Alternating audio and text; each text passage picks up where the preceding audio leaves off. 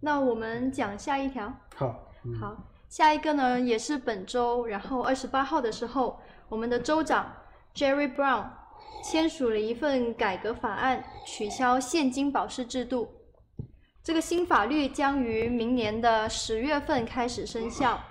州长他就表示，改革是为了公平对待富人和穷人。他当时是这么说，他说：“Today, California reforms its bail system so that rich and poor alike are treated fairly。”刘律师，你能不能给我们讲一下这个新的法律是怎么回事？新的法律是这样，它这个新的法律我总结一下，它新的法律呢是这样，就第一呢就是说对于呢这个呃重大的暴力性暴力犯罪或者性犯罪，那么实际上呢是不能保释，是这样的。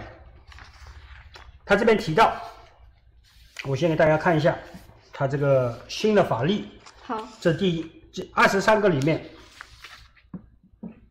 新的法律，对，然后呢，就重大暴力性犯罪不能保释，然后呢，对于轻的非暴力非性犯罪，那么呢不需要保释金，嗯，它呢是明年十月份生效。对，这个里面我再跟大家讲一下啊，所以说这个这个事情呢，是因为他他并且提到了，就是说他主要的原因是希望穷人跟这个富人呢可以平等，嗯所以他这个改变这个法律感觉最重要的目的嗯，是平等，穷人可以跟富人一样，对吧？是这个意思吗？对，所以实际上呢，我们的州长骨子里是个坚定的无产阶级战士，对吧？嗯他表示大家平等，众生平等，天下大同。嗯这是他呢有这个非常浪漫的情怀，非常高远的理想。这个意义上来说，我觉得我们州长很了不起。嗯但是，他这个法律看似崇高，实际愚蠢。为什么这么说？为什么这么说？因为呢，因为为因为穷人跟富人从来就不会平等，对吧？为什么这么说？饥寒生盗心，富贵生淫欲。就换句话说，为什么我去偷？为什么我会去抢？为什么我到 Macy's 偷个这个五块钱的口红？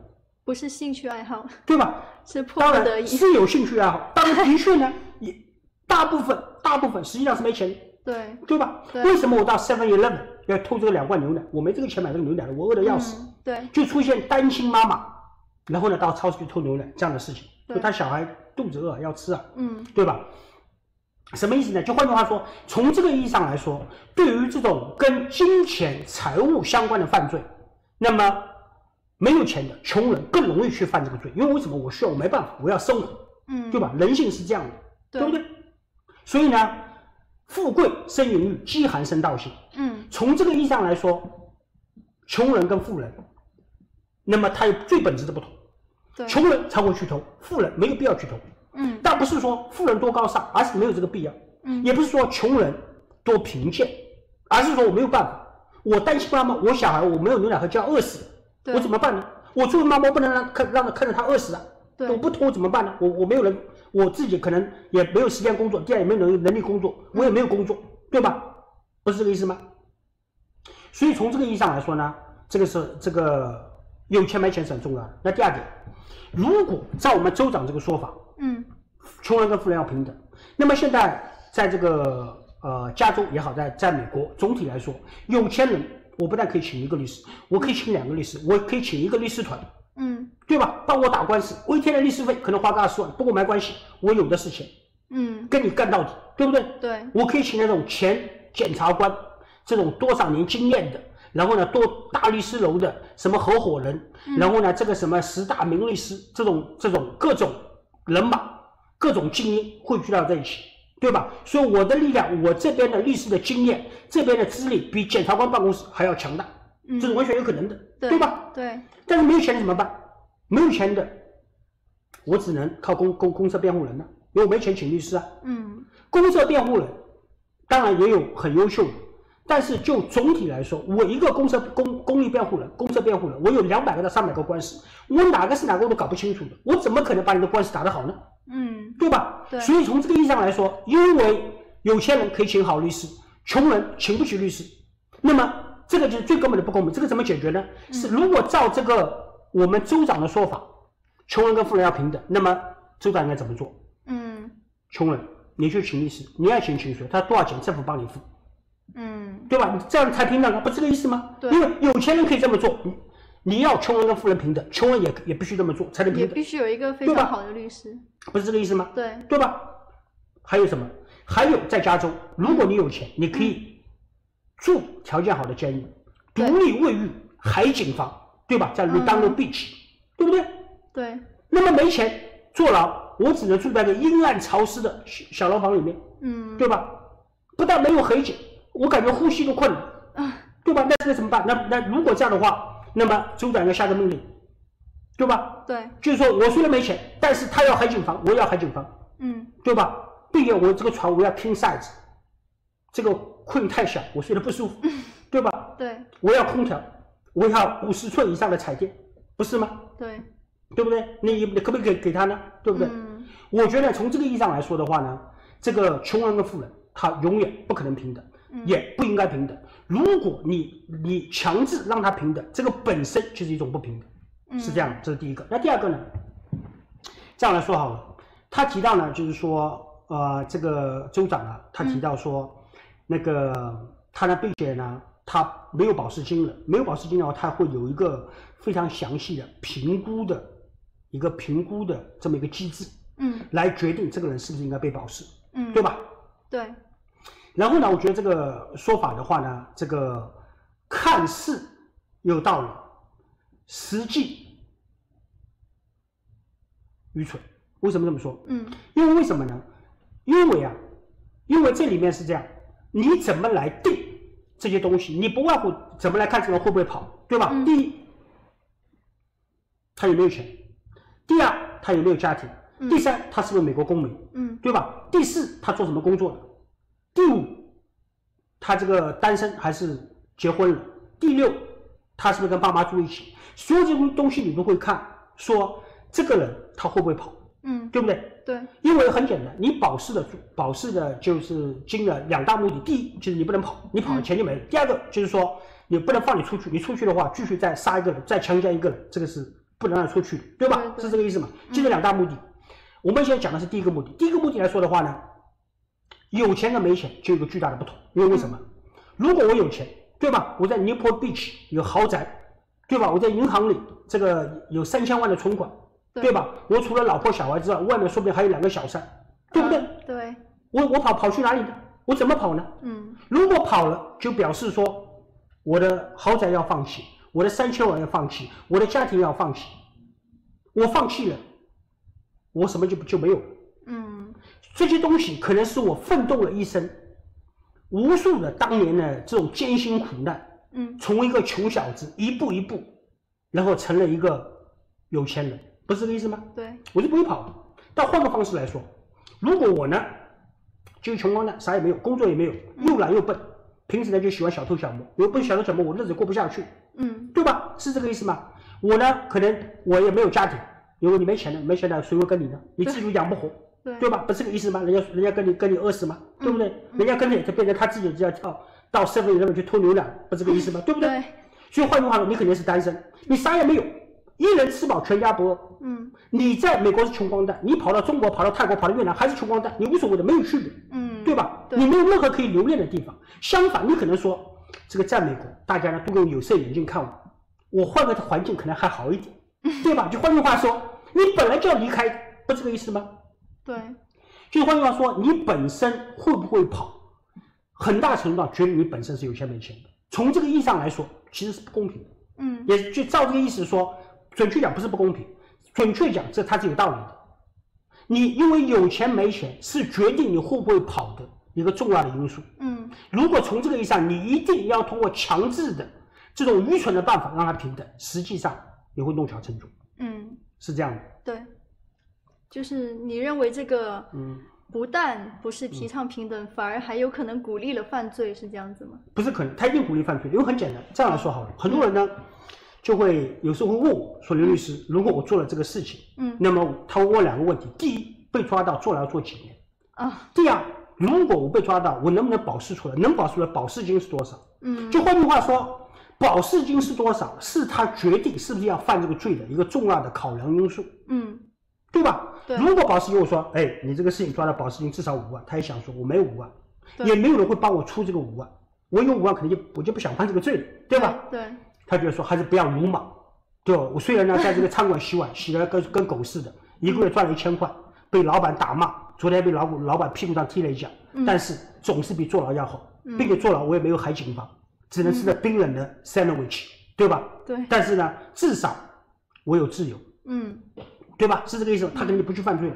他现在一看说，哎，我现在没有这个保释金了，对吧？对，他立刻本来在洗碗洗了一半，突然一看洗碗没有保释金，抛碗一人，对吧？打老板对吧？直接去，对吧？你看打打不能打，打所以暴力犯罪。看老板不在，抽屉一看，里面五千块现金拿了就走，那了不起，哦反正不用保释金嘛，进去再出来嘛。但你抓不到我呢？关个十二小时就出来对。关十二小时出来，至少五千块有了。嗯五千块我要洗碗洗五个月，一个月我洗一万个碗，五个月就五万个碗，等于十二小时赚五千块是这个意。思吗？对吧？对，对不对？对至少我这个十二个小时我是不用洗碗的，嗯，我还有五千块，对吧？对，对不对？嗯，然后呢，非常感慨说了一句 “I love America”，对吧？实际上你是鼓励犯罪，嗯，这是第一个。第二个是什么？如果你把他进去了，譬如说他十二个小时出来了，他一想，这个老板这个抽屉里今天呢营业额五千，他家里至少有五万，嗯我大家去看看，他这时候应该不在家的，我把他五万也拿过来，对吧？五万也抢也也偷过来，了不起，我我就再再十二个小时嘛，嗯，对吧？我这样就五万五了。实际上他出来之后，他有可能就直奔老板家了，嗯，对不对？所以呢，从这个意义上来说呢，是鼓励犯罪。他呢，所以看似高远，看似公平，实际愚蠢，是这样的。那我觉得呢，这样来说哈，我觉得呢，这里面重要的区别在什么地方呢？嗯，这些人是不是因为我穷，我一定会犯罪？不是的，也有人人穷志不穷，嗯，对吧？我洗碗没关系，我就洗碗，现在存点小钱，然后呢，我再偷偷的跟这个厨师学点手艺，我自己开个小餐馆，这个也很多人这么做啊。对，这些人他坐牢，州长 Jerry，你要听清楚，这个 Jerry，我从心里来说，我觉得其实我本质很尊重他，我觉得他呢是一个坚定的无产阶级战士。然后第二个呢，学识很渊博，也有嗯 law school 毕业，跟我跟我跟我是同行，也是律师出身。嗯，但是呢，我觉得他出身富贵，他不是说看不到民间的疾苦，而是因为他看太看到民间的疾苦，他会觉得这些人坐牢是因为不能保释，是因为穷，不是的，他们坐牢不是因为穷，他们坐牢是因为他偷东西，他抢东西，是因为他犯罪。嗯，换句话说，你同情他们没钱，同情他们穷，我可以理解。但是你这么做，实际上你没有同情他们穷，而是你在认为说，认为说偷抢是合理的。嗯，对吧？也不是这个意思吗？因为我进去他就出来了，是这个意思。所以说，千万不要把穷人跟富人平等，跟他们本身是偷是抢要关联起来，是这样的。也就是说，你认为有罪的人嗯，没有资格去要求平等，是吗？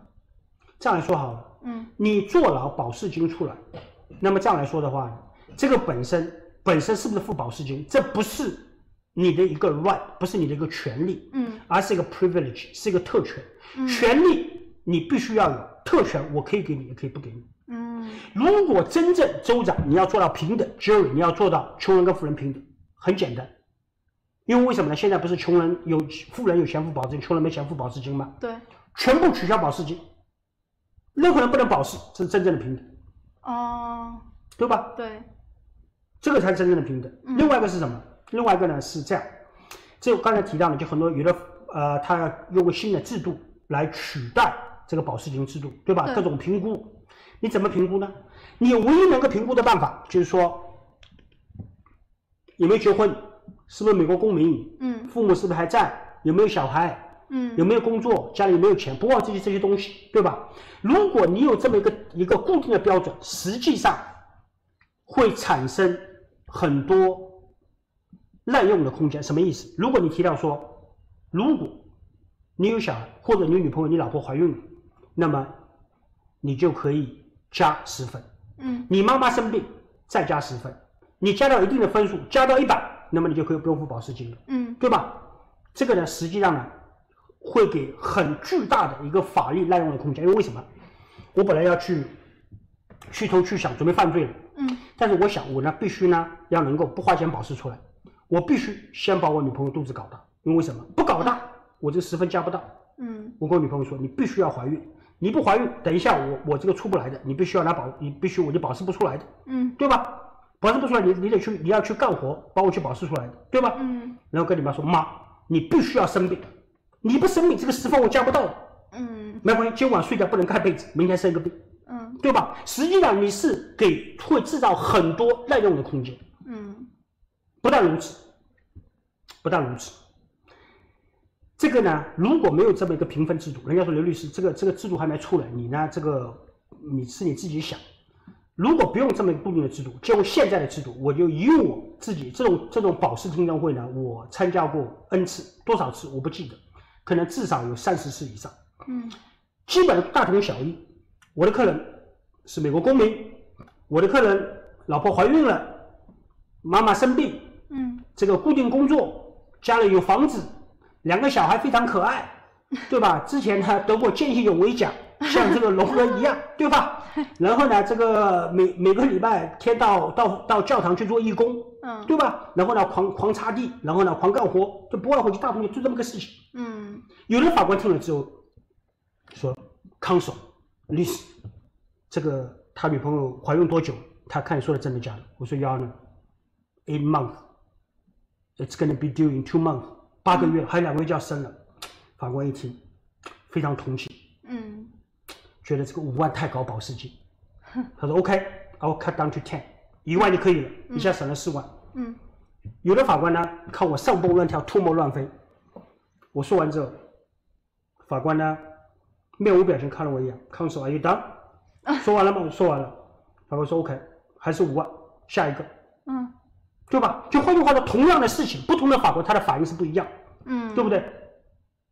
所以呢，我这个 jury 呢，我觉得是这样，他呢这个想法很好，但是呢，我觉得他这里面呢，他呢把穷人，他觉得说应该帮穷人是对的，但是他帮的不是穷人，他帮的是犯罪的人，嗯所以从这个意义上来说，他实际上是鼓励犯罪。我觉得他这个做法，我彻底愚蠢，彻底错误，我坚决反对。嗯